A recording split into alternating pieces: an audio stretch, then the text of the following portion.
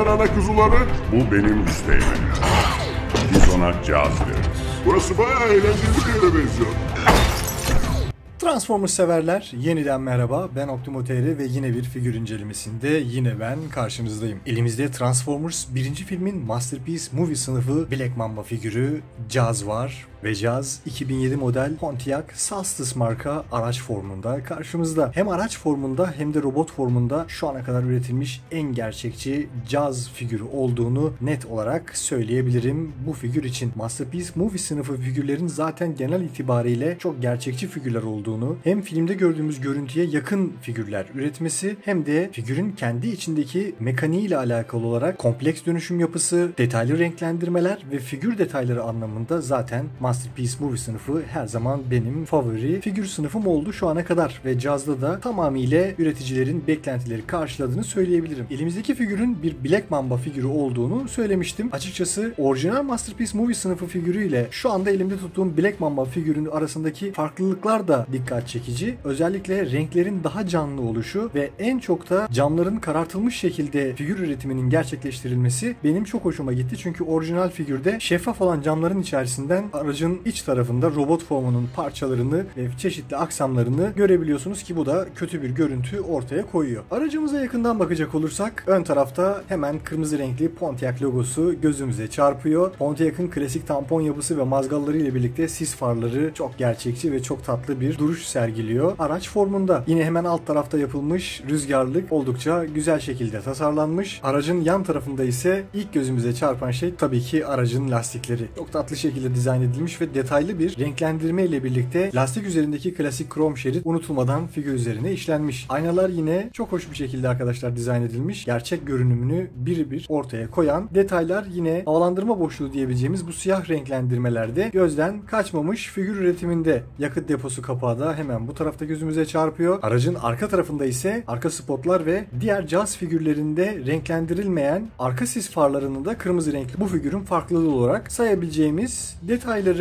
plaka boşluğu bırakılmış ancak plaka detayı figüre girilmemiş. Motor üzerindeki bu detaylandırmada yine Pontiac'ın klasik görüntüsünü arkadan çok şık bir şekilde ortaya koyuyor ve spoiler oldukça güzel bir hava katıyor figürümüze. Üst taraftan baktığımızda Pontiac'ın aerodinamik yapısını net bir şekilde ortaya koyan güzel bir üretim olduğunu ve figürün de genel hatlarıyla zaten gerçek bir Pontiac görüntüsünü kullanıcılara sunduğunu ifade etmek lazım. Masterpiece Movie sınıfı Jazz kutudan 3 adet aksesuarla birlikte çıkıyor. Öncelikle hemen bu aksesuarla başlayalım. Jazz'ın Megatron tarafından öldürüldüğü sahnede gövdesiyle bacaklarının ayrıldıktan sonraki gövdesinden sarkan kablo ve değişik mekanik parçaları unutulmadan bu figüre işlenmiş. Çünkü biraz sonra robot formunda bakacağız. Jazz'ı aynı filmdeki gibi ikiye ayırabiliyorsunuz ve gövde kısmına da bu parçayı takarak parçalanmış bir caz görüntüsünü ortaya koyabiliyorsunuz her ne kadar istemesek de. İkinci olarak ise elinde Allspark taşıyan Sam figürünü detaylı bir şekilde üreticiler üretmişler. Allspark üzerindeki Cybertron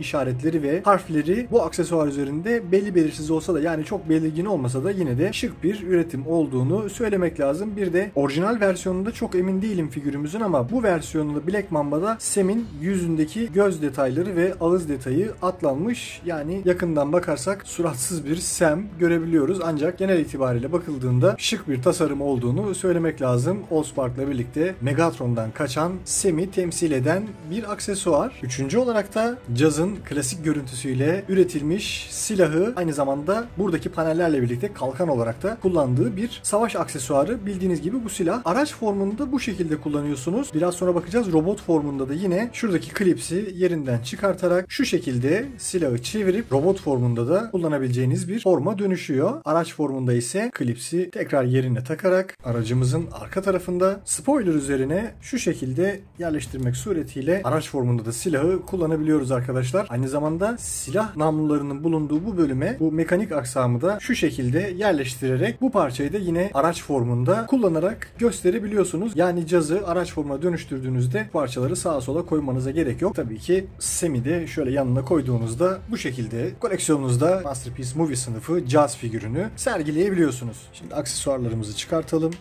Ve arkadaşlar cazın robot formuna dönüşümüne birlikte bakalım.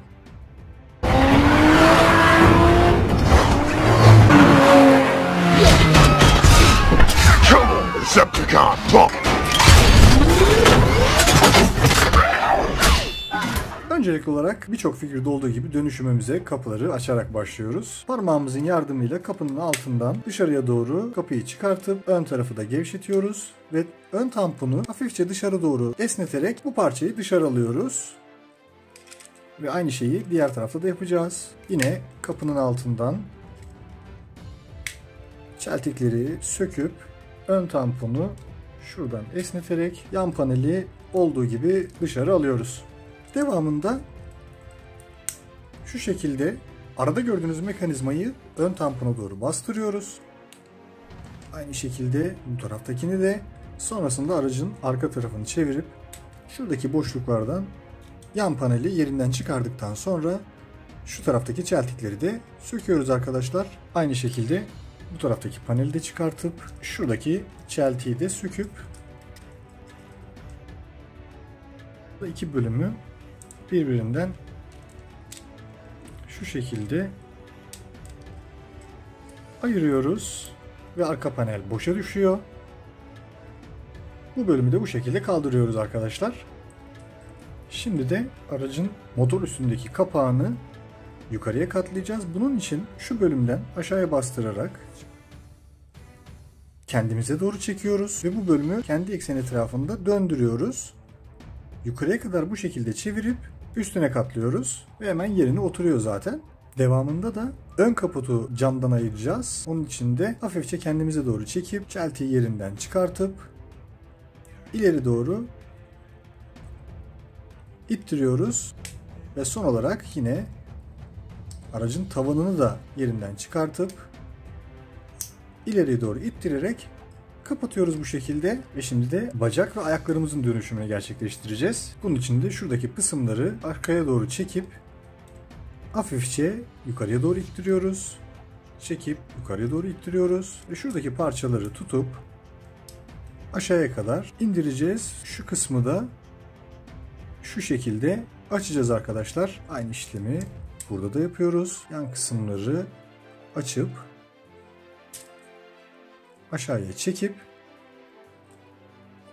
şu şekilde konumlandırıyoruz. Devamında figürün arka tarafını çevirip diz kısımlarını kendimize doğru çekip yukarı doğru iterek şu bölümle aynı hizaya getiriyoruz.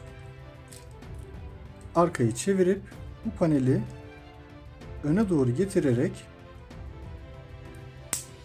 şuradaki boşluğa oturtuyoruz. Ve sonrasında da tekerleği yerinden çıkartıp arka paneli de ileriye doğru iterek tekerleğe yer açıyoruz. Hafifçe esneterek tekeri içeri alıyoruz arkadaşlar. Aynı işlemi diğer tarafta da yapacağız. Diz kısmını yukarı kadar bastırıp şuradaki paneli yukarı doğru çekip şuradaki yuvaya yerleştiriyoruz bu kısımdaki çeltiyi. Sonrasında da tekeri yerinden çıkartıp ön tarafa getirip ve tekeri de buradaki yuvaya oturtarak yerine yerleştiriyoruz. Ve her bir bacakta tekerleğin bu bölümünü şu şekilde yukarıya doğru esnetip şuradaki çeltiye gelene kadar ilerlettikten sonra bu paneli bu şekilde katlayarak panelin altında gördüğünüz şu çeltiyi hemen altındaki yuvaya bu şekilde yerleştiriyoruz. Aynı işlemi diğer tarafta da yapacağız. Paneli şurada gördüğümüz kısma kadar ilerlettirip sonrasında kapatıp hemen altındaki şuradaki gördüğünüz yuvaya bu şekilde yerleştiriyoruz arkadaşlar. Sonrasında arka taraftaki bu bölümleri hafifçe esneterek yerinden çıkartıp arkaya yaslıyoruz. Aynı işlemi bu tarafta da yapıp evet yerinden çıkartıp arkaya yaslıyoruz. Ve arkadaşlar şurada gördüğünüz kısımları yukarıya doğru kaldırıp bu kısmı arkaya çevirip şurada gördüğünüz bu bağlantıları gerçekleştirip şuradaki paneli ileriye doğru itiyoruz arkadaşlar. Ve ayakları konumluyoruz. Aynı işlemi yine burada da yapıyoruz.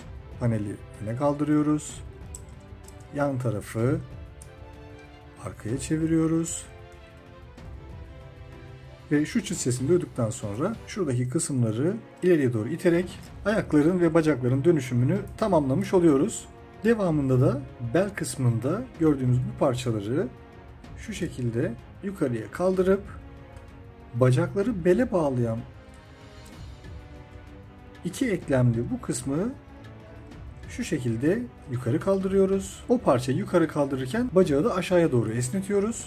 Devamında da şu kısımları üzerine kapatarak bacakları belde sabitlemiş oluyoruz.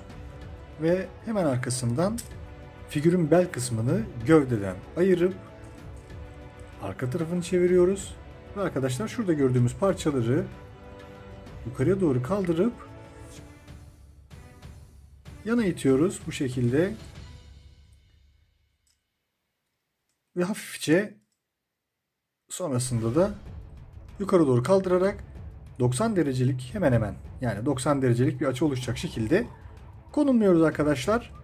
Şimdi de üst gövdedeki çalışmalarımıza devam edelim. Biraz uzun ve meşakkatli bir dönüşüm var Masterpiece Movie Jazz'ın. Şimdi de üst gövdeyi bu şekilde aşağıya alıp kolları şurada gördüğünüz bağlantı kısımlarını ileriye doğru yukarı bakacak şekilde konumlayarak işte bu şekilde kolları yerleştiriyoruz. Aynı işlemi şu kısımda da yapıp kolları yerleştiriyoruz. Ve arkadaşlar arka paneli bu şekilde geriye itip kaputu yerinden söküyoruz arkadaşlar. Ve şu şekilde yerinden çıkartıp ön camla tavan arasındaki boşluğa gelecek şekilde bu şekilde konumluyoruz. Ve devamında hafifçe kolları şöyle yana açarak şu kısımdan tutup olduğu gibi bu kısmı kendi eksen etrafında çeviriyoruz arkadaşlar. İşte bu şekilde. Sonrasında da az önce çıkarttığımız kaputu bu panele dayayacak şekilde tekrar aşağıya alıyoruz. Kaputu bağladıktan sonra bu kez de kaputla birlikte ön paneli kendi ekseni etrafında çevirip rüzgarlığı kullanarak mazgalların olduğu kısmı hafifçe dışarı alıp farların olduğu boşa düşen bu parçaları da ileri itiyoruz. Aynı işlemi bu tarafta da yapıp ileri itiyoruz. Şimdi de yapacağımız işlem bel kısmını ileriye doğru itip şurada gördüğünüz tutacakları kaputun sağından ve solundan geçirerek şu paneli tutacak şekilde işte böyle içine yerleştiriyoruz arkadaşlar. Ve devamında arka kısmı bu şekilde geriye alıp spoiler'ı yukarıya doğru kendinize doğru çekip öne doğru getirerek şurada gördüğünüz yerlerden bu şekilde tutturuyoruz ve böylece backpack kısmımızda yerine oturmuş oluyor. Şimdi de kolları oluşturalım. Bunun için de şuradaki paneli şu şekilde yukarı alıp bir üst panele katlayıp yine buradan da yerinden çıkartıp yukarı kadar kaldırıyoruz. Ve sonrasında eli oluşturacak kısmı bu şekilde dışarı alıp bu şekilde çevirip ve arkadaşlar tekerleğin üstünden farın ön kısmını tutup bu ince paneli ön tarafa doğru getirip şu kısmı bu şekilde çeviriyoruz ve şuradan geçmesini sağlıyoruz. Yukarı doğru alıp aşağıya doğru kırıp sonra da bu tarafa doğru çeviriyoruz arkadaşlar. Bu işlemi yaptıktan sonra eli yine yukarı doğru katlayıp şuradaki sivri kısmı şuradaki boşluğa gelecek şekilde bu şekilde yerleştiriyoruz ve yerine takıyoruz. Sonra da kendi ekseni etrafında çevirerek kolumuzun dönüşümünü tamamlamış oluyoruz. Aynı işlemi şimdi diğer tarafta da yapacağız. Yan tarafa geliyoruz. Paneli yerinden söküp tamamıyla öne katlıyoruz. Bu kısmı yerinden çıkartıp öne kadar itip yerine yerleştiriyoruz ve etrafındaki gördüğünüz tutacaklar lastiği kavruyor. Sonra da eli açıp şu şekilde dışarı alıyoruz ve lastiğin üst kısmındaki şurada gözüken farın, ön farın ucundan tutup geriye doğru çekip bu tarafa kadar getiriyoruz. Ve şurada gördüğünüz paneli şu şekilde kendi ekseni etrafında çevirip ön tarafa geçmesini sağlıyoruz. Yukarıya kadar getirdikten sonra ikinci eklemden öne doğru kırıp bu şekilde düzelttikten sonra kendi ekseni etrafında böyle çevirip aşağıya alıyoruz. Bu kısmı da yukarı doğru kaldırıyoruz.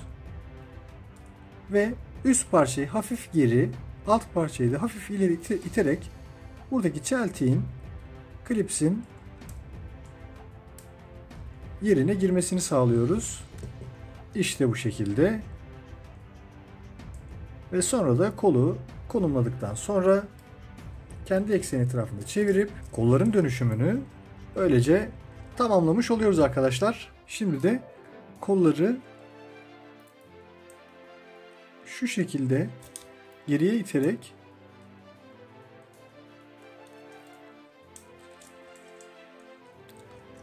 yerine yerleştiriyoruz.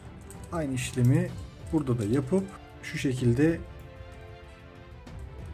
yerine yerleştiriyoruz. Daha bir bütünlük sağlanabilmesi adına yapılan bir işlem açıkçası çok zaruri de değil. Dönüşümü etkileyen bir unsur değil. Devam edelim. Şimdi de baş kısmı ortaya çıkaracağız. Bunun için şuradaki panelleri şu şekilde yan tarafa iyice açıp şu kısımdan parmağımızın yardımıyla yukarı kaldırıp baş kısmını ortaya çıkarıp paneli tekrar geri iterek yerine oturtuyoruz. Ve şu kısımları da tekrar şu şekilde konumluyoruz. Ön tarafta gördüğünüz şu krom yapıların devamı şeklinde koyduğunuzda bana göre sanki bir tık daha şık duruyormuş gibi geliyor. Son olarak da figürün arka kısmını çevirip şurada gördüğünüz parçaları bu şekilde yukarıya doğru kaldırarak yerlerine oturtup backpack'in ne kadar gözükecek bilmiyorum ama şurada bir klipsi var, bir çeltiği var. Hemen şu aşağıda gözüken bakın şuradaki boşluğa denk getirip bastırdığınızda tamamıyla yerine oturmuş oluyor. Sağlam bir backpack yapısı oluşmuş oluyor. Ve arkadaşlar şöyle sağını solunu da düzelttikten sonra Transformers 1 Movie Masterpiece sınıfı Black Mamba Jazz'ın robot formuna dönüşümü tamamlanmış oluyor.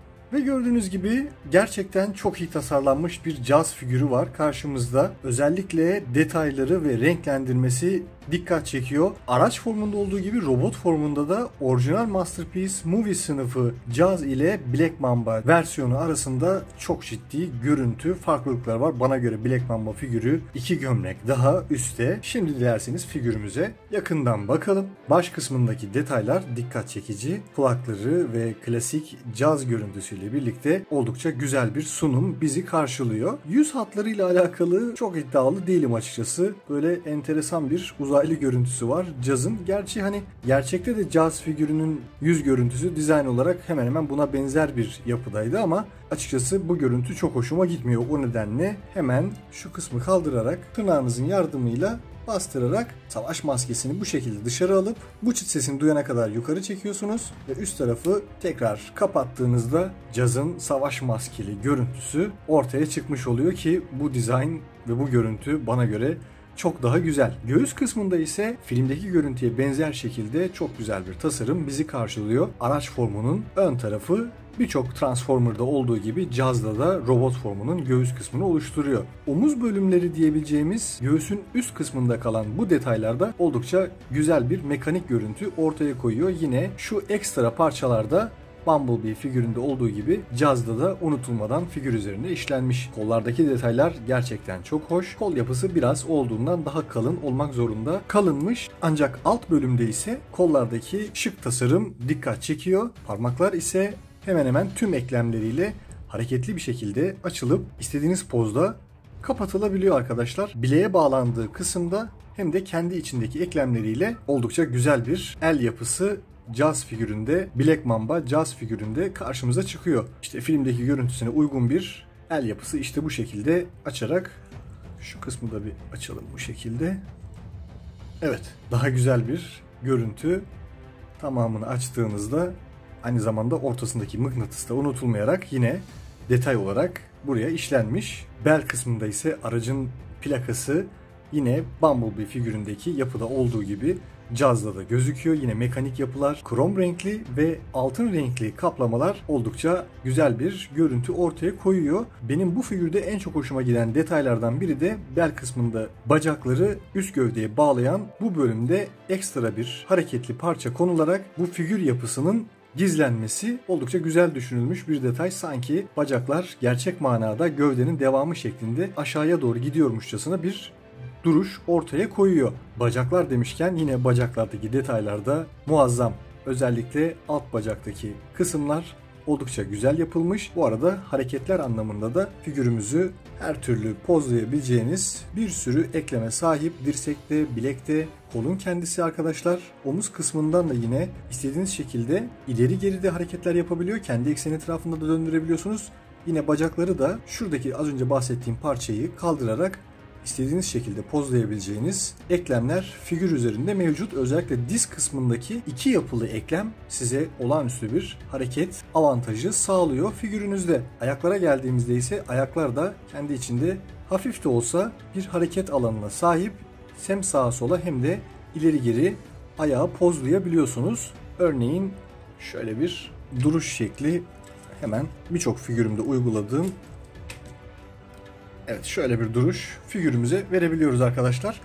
Figürümüzün aksesuarlarını tabii ki robot formunda da değerlendirebiliyoruz. Hemen silahımızı, şu klipsi yerinden çıkartıp şu şekilde çevirerek elin iç kısmına gelecek şekilde işte böyle silahıyla da oldukça güzel gözüken bir caz saldırıya hazır pozisyonda çok tatlı gözüküyor. Ve gelelim bu parçaya. Bu parçada yine çok enteresan bir yapıyla figür severlerin beğenisine sunulmuş. Sem'i biraz kenara alalım. Bildiğiniz gibi Jazz karakteri birinci filmde Megatron tarafından ortadan ikiye ayrılmak suretiyle öldürülmüştü. Bunu figürün üzerinde de figürün arkasını çevirerek şurada gözüken yaylı düğmeye basarak orada basılı tutup üst gövdeyi ve alt gövdeyi bu şekilde birbirinden ayırabiliyorsunuz ve ortadan ikiye ayrılmış bir caz olarak figürünüzü saklayabiliyorsunuz. Bacakları şöyle koyalım. Figürün hemen altındaki şu çıkıntıyı kullanarak mekanik parçadaki boşluğa bu kısmı geçirmek suretiyle gövdesinden ayrılmış bir caz görüntüsü elde edebiliyorsunuz. Çok hoş düşünülmüş.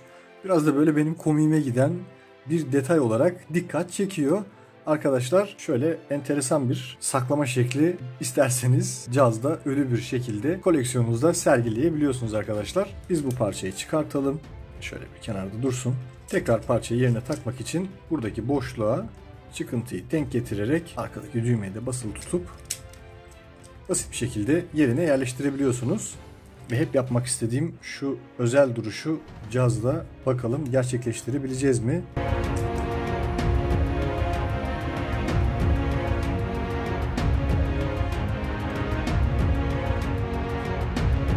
Evet şöyle yavaşça ellerimi çekiyorum ve şu an bu pozisyonda durduğuna gerçekten inanamıyorum. Ve arkadaşlar bu enteresan pozlamanın ardından şimdi figürümüzü diğer figürlerle karşılaştıralım. Boy karşılaştırmasına bakalım.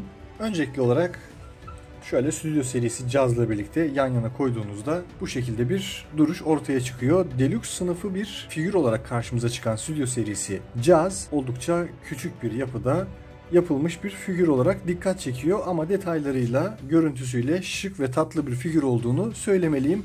Ama scale açısından bana göre üreticilerin sınıfta kaldığı bir figür olduğu Jazz figürü Studio serisi Deluxe sınıfında biraz daha yüksek olmasını en azından şöyle bir santim daha yukarıda ol, olsaydı daha başarılı bir scale görüntüsü ortaya çıkabilirdik. Deluxe sınıfı içerisindeki figürler arasında da ciddi bir uyuşmazlık ben bu figürde olduğunu düşünüyorum cazı kaldırıp figürümüzü şöyle biraz kenara çekip hemen yanına Deluxe sınıfı Ratchet'la birlikte Masterpiece Jazz böyle bir scale görüntüsü veriyor. Her zaman söylüyorum Masterpiece Movie sınıfı figürler, Deluxe sınıfı ve Voyager sınıfı figürlerle kabul edilebilir bir scale oranına sahip şekilde üretilen figürler olarak her koleksiyonda sergilenebilecek figürler. Ratchet'ı alıp şöyle biraz daha ortalayalım figürlerimizi. Transformers Studio serisi 5 numaralı Optimus Prime'ı koyduğumuzda ise Voyager sınıfı Optimus'la birlikte böyle bir görüntü ortaya çıkıyor. Jazz'la birlikte ve tabii ki birinci filmin en unutulmaz karakterlerinden yine bir Masterpiece Movie sınıfı figürü olan Black Mamba Bumblebee ile birlikte de ekranda böyle bir duruş sergiliyorlar. Oldukça tatlı gözüktüklerini birlikte söylemeliyim. Bir ikinci film karakteri olan Black Mamba Sideswipe'ı koyduğumuzda Revenge of the Fallen'daki versiyonuyla birlikte bu şekilde bir görüntü sergiliyorlar. Üçüncü filmden bir karakter olan Top Spin'in God serisi figürüyle de böyle bir duruş sergiliyorlar. Yine bir üçüncü film karakteri benim en sevdiğim figürlerden bir tanesi olan Dino figürüyle birlikte bu şekilde gözüküyorlar. Yine oldukça güzel, şık bir duruş. Ve arkadaşlar birinci film ekibimizi hep birlikte kadraja koyduğumuzda ise oldukça tatlı ve şık bir ekip görüntüsü ortaya çıkmış oluyor. Tabii ki figürümüzün aksesuarıyla birlikte gelen Allspark'ı kaçıran Sem'i de şöyle bir kenara koyup onu da kadraja sokalım. Ve yine bu ekibin stratejik ortağı Albay Lennox de motosikletiyle birlikte Human Alliance Jazz'la birlikte gelen bir aksesuar olarak bu görüntünün içerisinde bana göre olmazsa olmaz. Jazz'ı biraz şöyle çekip onu da bence bu görüntü içerisinde şu şekilde değerlendirebiliriz. Transformers birinci film ekibimiz hep birlikte kadrajda bu şekilde bir görüntü veriyorlar. Son olarak arkadaşlar Transformers Studio serisi 54 numaralı Megatron'la yani karakterimizin birinci filmdeki katiliyle birlikte bir Decepticon da olsa sonuçta bütün bir serinin gidişatını etkileyen bir sahnenin başrolleri olarak onları da yan yana sergilemek istedim. Nasıl gözüktüklerini ve nasıl bir görüntü verdiklerini sizlere göstermek istedim arkadaşlar. Ve böylece bir incelememizin daha sonuna geliyoruz. İzlediğiniz için teşekkür ediyorum. Görüşlerinizi ve figürle alakalı düşüncelerinizi yorumlarda paylaşırsanız çok mutlu olurum. Bir sonraki figür incelememizde hangi karakterin incelenmesinin yapılmasını istediğinizi yorumlarda yine aynı şekilde belirtebilirsiniz. Tekrar görüşünceye dek kendinize iyi bakın, hoşçakalın.